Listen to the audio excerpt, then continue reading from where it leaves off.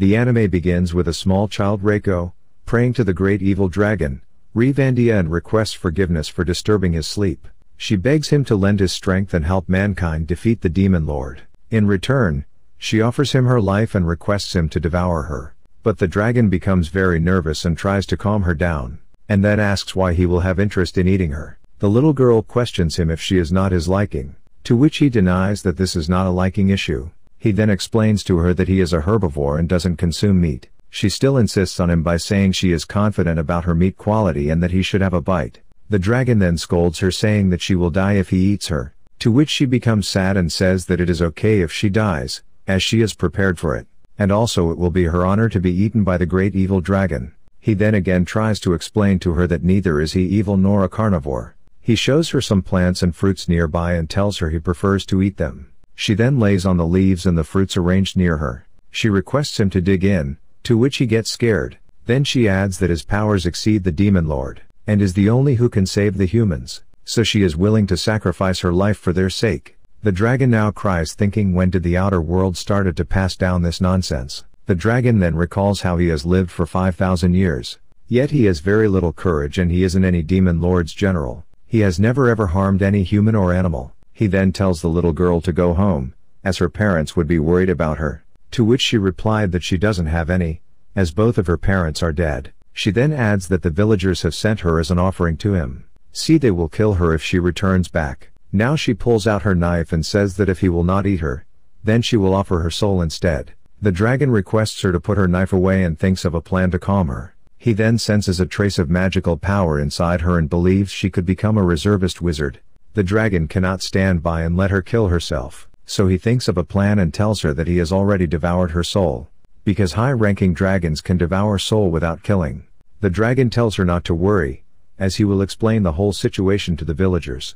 The little girl claims that now her soul has been eaten by the evil dragon, so she is now his disciple. But he ignores her and tells her to get on his back as he will bring her to the village. On his way to the village all the animals get scared by him, to which he is shocked as he has never caused anybody trouble in the village. He wishes that the village will provide him a warm welcome.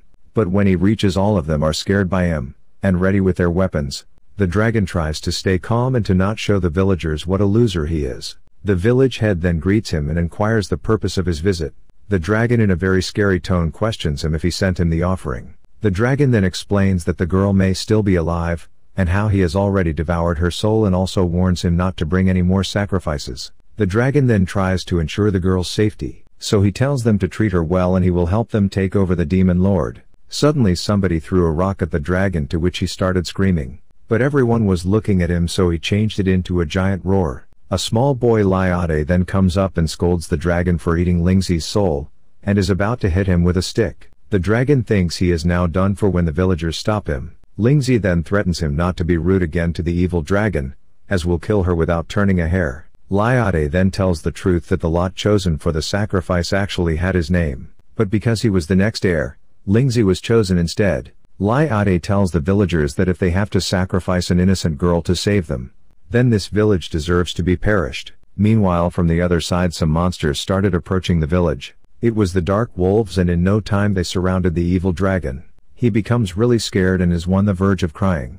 When Lingzi lands on his back and tells him that she is at her limit, she pulls out her knife and goes on to fight the dragon alone, as she believes they are not worthy enough to be a fight for the evil dragon. She then uses her magical power and starts killing the wolves. Then the dragon realizes she is not an ordinary wizard but a really powerful one. She finishes them all, believing it is the power of the evil dragon with her deadly attack giant claw of the dragon. Lingzi then thanks him for lending her what she believes is 10 millionth of the dragon's power. He gets really confused because he knows nothing about the giant claw of dragon, and also thinks this little girl is scarier than the dark wolves. After defeating the dark wolves the villagers throw a party for the, the evil dragon, and perform a dance for him. The dragon then demands to have the talk with the old man's son, hearing which the old man gets scared and requests him to not scold Lyade. The dragon assures that he will only have a light chat with him. Lyade cared about her so he decides to tell him the truth, but he refuses to believe the dragon and says that he is making this shit up, so he can save himself from the battle with the demon lord. Lingzi then pulls out her knife to kill him, but the dragon stops him and says that weren't they close to each other at past. She explains to him that Lyade always used to sneak her out of the village and give her clothes. so no one couldn't find her, but she used to come back every time and he was punished severely for that. She believes that he wanted to take her opportunity to be a sacrifice for the evil dragon. She then wears the clothes made by Lyade. They have the Eastern witchcraft bestowed and gets on the back of the dragon, and asks him to fly to the demon lord, so they can defeat him. But he then remembers that he doesn't know how to fly. But Lingzi then makes a new spell the Wings of Darkness, after which the dragon starts to fly and they are now headed to fight the demon lord. Now the dragon tries to think of a way to calm her. So he tells her that they should find some fighters first, and make a team and then attack the demon lord. They reach a nearby city, Paleodonaire, which was under attack by some monsters and was burning. The monsters saw the dragon and tried to attack him. But Lingzi then used her new power and destroyed all the monsters. The dragon then landed in front of the soldiers and they recognize him as the Dragon Lord, Rivandia. The general then appears and introduces herself as Ilianti, the leader of Paleodonaire. She then requests their help to save the city. Lingzi then claims that the evil dragon is now on his way to defeat the demon lord, and he can destroy the whole city if he wants in an instant. The dragon then orders Lingzi to help them destroy the aerial monsters. Lingzi then grows wings on the back through her powers and starts killing the monsters. The dragon then advises the general that there must be a general, who is manipulating the corpses and controlling them from a high place, so he can easily monitor them. The general takes on his advice, and orders her man to attack the tower and kill the monster controlling them. Lingzi then comes back and the dragon tells her to rest for a while, to which she denies but later he orders her. It is now raining and Lingzi is sleeping beside the dragon. She is having a bad dream as the raindrops fall on her. So the dragon uses his wings as cover and she sleeps peacefully. Ilanati returns and thanks the dragon for his advice as they have won the battle. She then orders her men to not stand here and rather they should make themselves useful. All her men are now gone, and the dragon and the general have a talk. He then tells the truth to her that Lingxi is not his disciple, and that the power she holds is her own. So she should stay in this town and become a great wizard. The general questions him. Why is he going against the demon lord and what is his motive behind this? The dragon then explains all his story that he is not a part of the demon king's army, and how he is just a vegan loser dragon. The general refuses to believe his story and once again questions him why he is betraying the demon lord. She then pulls out her sword and introduces herself as the Ilianti, loyal swordsman to the demon lord, and attacks the dragon for going against her majesty. Lingxi then wakes up and joins the fight, but she isn't able to keep up with Ilanti, as she has greater combat ability. Also Lingxi cannot use her magic power, as she used most of it in her fight earlier against the monster birds. Alinati blocks all her attacks as she could predict all of them and then she starts to attack her. She slashes her sword toward Lingxi but she escapes by making a jump. Then Ilanandi gets behind her. In the air Lingxi couldn't get her foothold and could no longer react to her attack. Ilianti attacks her with her sword and Lingxi lands on the floor losing her consciousness. Ilianti now continues her fight with the evil dragon. She attacks him with her sword, to which he screams in pain, but he then sees that there is no damage done. Ilianti then shows him her special sword, which doesn't cut but inflict damage on the one it is used. She then repeatedly attacks the dragon, and after a while he is on the ground lost and exhausted. She then tells him the truth that she was just testing, if he was telling the truth earlier, and she is no swordsman of the demon lord. The dragon feels really relaxed, but also is angry for the mental torture he had to go through in this fight. Ilianti suggests to him to keep it a secret that he is weak, and if the world knows about it, they might come after him. Also she tells him to explain his whole fight as a dream to Lingxi as she looks up to him. The next morning when Lingxi wakes she is scared to see the dragon shrinked in size. Last night Alinati gave him a medicine, so he could be of a more compatible size. He gives her an absurd reason for his shrinkage that to prevent cervical spondylosis he has shrunk in size but she believes in whatever he says, and they both now continue their journey in a forest. While on their way Lingxi is still confused about her dream, and believes it to be too realistic to be a dream. Meanwhile Liade reaches Paleodonaire and is in search of the evil dragon. Suddenly a large brick is about to fall on him. When Iliani comes to his safety, he was really impressed by her skills and requests her to become his master. She then starts the training. But she gives him a really tough training and he almost loses his mind at it. Dragon and Lingxi now are taking a rest under a tree. When a group of bandits discover and try to attack them, they decide to sell Lingxi for a high price and a talking dragon will make them really rich. Lingxi asks Dragon for permission to kill them, but he refuses saying killing should be avoided wherever possible. The bandits then try to threaten Lingxi, but Dragon this time gives her permission to use a tiny bit of her power, Ling Sui then touches the head bandit and he falls back some distance away. The bandits surrender and take Ling Su and Dragon to their cave, where they have held many people captive. After reaching there all the captives are released, and Dragon sends Ling Sui to deliver the bandits to the nearby prison, where they can turn themselves in. After Ling Sui leaves, Dragon enters a strange cave to find food for him, his favorite mosses, but then falls in a tunnel there. He is now underground, where he meets a strange ghost. The dragon gets really scared and starts calling Lingzi for help. The ghost tries to approach him, but he starts to run away, to which the ghost tells him don't run. But he doesn't listen to him and continues running until he stomps on a tarp, which shoots arrows at him but luckily he survives. The ghost then comes up to him and says don't run as there are traps nearby. The ghost gives him food and asks about a strange power, which was present earlier above and says that it isn't human. The dragon now asks him about his identity, to which he shows him some wall drawings. The ghost is actually the god of hunting, and long long years back he descended upon this land to teach humanity hunting, and how to provide for themselves. But later when the people mastered hunting, he was forgotten. However he wants to go out and teach hunting, but there is no one whom he can teach now. The dragon now feels bad for him and decides to be his student. They are now outside, and the god of hunting is really excited about the training. He claims that he will make the dragon an excellent hunter in three hours. The dragon that many people have tried to teach him many things in the past few years. But he is a loser student. The god of hunting tells him that there is nothing such as a bad disciple, only a bad master. The first part of training is physical training. So the dragon now has to do 200 sit-ups. The dragon lays on the ground and tries to do sit-ups, but is unable due to the spikes on his back. The next training is balancing.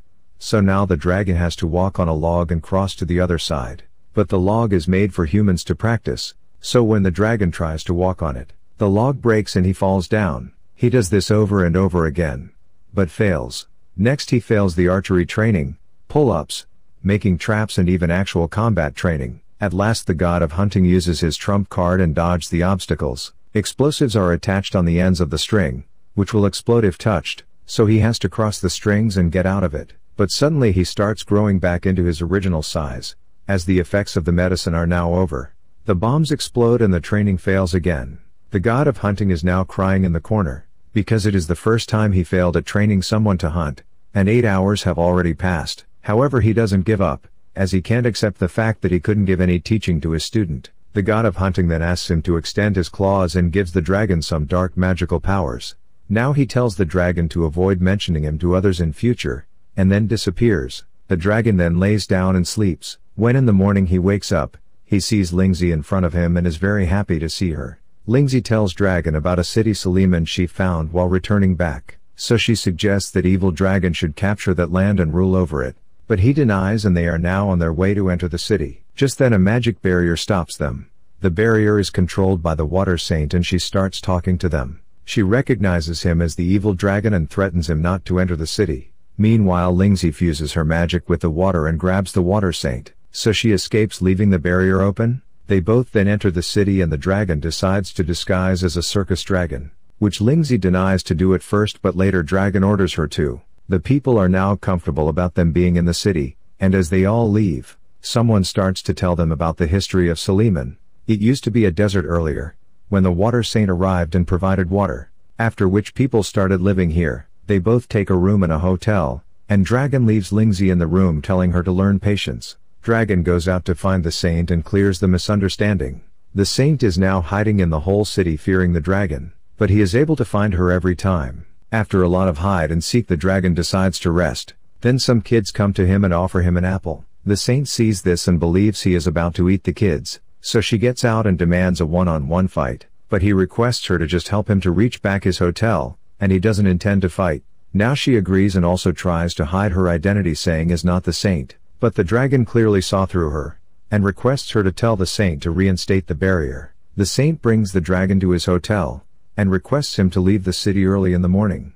But he wanted to stay in the city for some days. He opens his room and sees Lingzi with a serious face, trying to be the patient which the dragon told her to be. They both now are about to sleep so he then sleeps on the floor. Because the human bed doesn't suit him, but Lingzi also sleeps with him. At night a shiny armored dragon is seen in the sky above the barrier, planning to attack the city tomorrow by breaking the barrier with his ghost-like friend. Later in the morning the saint pays them a visit as a service girl and enters their room. Lingzi strikes her down on the floor and some of her water splashes. She then gets up and says that the weather is fine today, so they should leave at any moment now. She then shows the food provided to them, which is children's veggie leftovers from the garbage. Now Lingzi gets angry and again strikes her down on the food tray and all the food gets wasted. The saint runs away. But the dragon is now angry at Lingzi for wasting food, so he tries to discipline her not to use her power for no reason. He orders only to use powers when he commands or in self-defense. The dragon then suggests Lingzi to play with the children in the city. She first denies but later agrees to play with them. The dragon then goes out to talk with the saint and clear the misunderstanding. But when he walks out of his room, he starts drowning in the water outside his room. He drowns inside where the saint takes him deep into the water, so she can finish him and also giving up her own life while doing so. Meanwhile Lingzi finds the other children. They all decide to search for the dragon, who plays with children. Suddenly the armored dragon attacks the city. Now Lingzi thinks that it is the dragon who plays with children. So she calls him to play with her. So on one side dragon is deep inside the water with the saint, where he cannot even surrender, because he cannot talk underwater. On the other hand Lingzi is unknowingly going to be involved in a fight with the armored dragon. After this the episode ends. Like this video, subscribe to Ani Summary and set the notification on all for more anime recaps.